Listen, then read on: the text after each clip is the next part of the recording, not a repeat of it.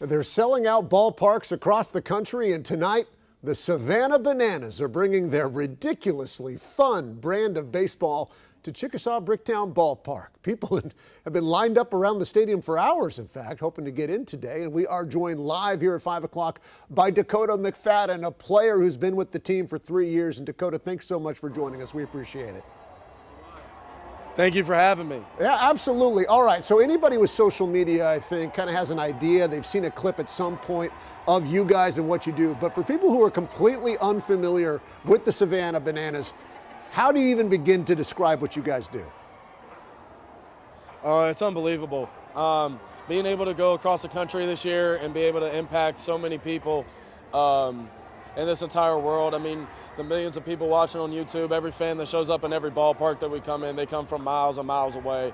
Uh, a lot of times, a lot of countries away. I mean, we had a family from Dubai show up in Savannah to watch the Savannah Banana game. And I mean, just the impact that it shows of how much it reaches across uh, the entire world is, you know, it's unbelievable. I mean, it's, it's such a blessing. And being able to do all this, I mean, it, it's hard to put into words. It's just absolutely remarkable of what we just are able to do every single day. Well, Dakota, you guys are really, you found a little intersection between athlete and entertainer. For example, we don't have video of this, but I saw you get hit by a pitch and everybody ran out to check on you and then you started dancing. You did like the stanky leg. I mean, to be able to, I know yep, you didn't yep, grow yes, up playing Little League yes, and, in high school and college ball and said, you know what, one day I'm going to be doing that. Yeah. uh, I actually coach an 11U team back home, and uh, right after that at bat, and right after I did that, I got a whole bunch of messages from the parents of the team and the kids.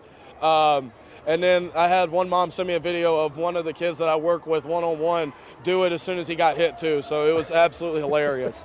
Um, so being able to break out and be an entertainer and, and you know be an athlete at the same time because you know you always want to compete and be a ball player first, but reminder of having that entertainment piece um, when it comes time to do it.